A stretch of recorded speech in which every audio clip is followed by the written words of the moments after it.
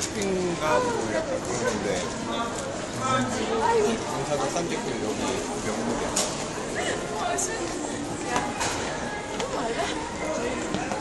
명물이야